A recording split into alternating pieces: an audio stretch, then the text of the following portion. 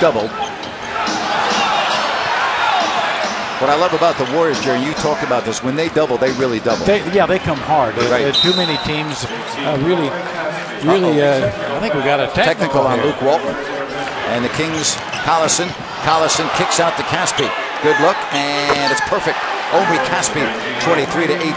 Yeah, Kings fighting their way back, doing with some pretty good defensive effort. Back to Casspi's going to have to hurry. Two to shoot.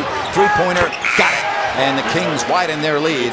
It is 32 to 27. You take care of the ball, and it'll take care of you. Casspi. And he'll get to the foul line. Rush knocked him down. Casspi. Omri Casspi. And he has scored 12.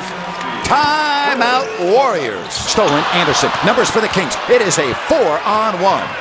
Casspi all the way. Thank you very much. He has scored 14. And that's one of the best ways to get back in it. Uh, he's like Klay Thompson. He may go for 20 and a quarter or 30. You never know. Omri Casspi. And he hits another long ball. That's his fourth of the first half. Here comes Collison. Kicks out Casspi.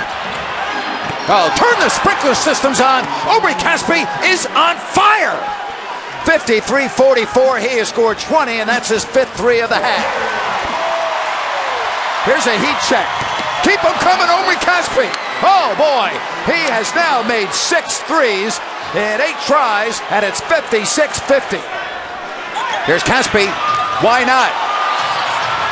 Uh, he's got smoke coming off his fingertips. Omri Casspi just can't miss. Omri the omnipotent. Casspi way outside, but we're talking about Omri Casspi. Omri Casspi is having a night. He is two off his career high. He's eight of ten now from beyond the circle. At the field, here's Casspi.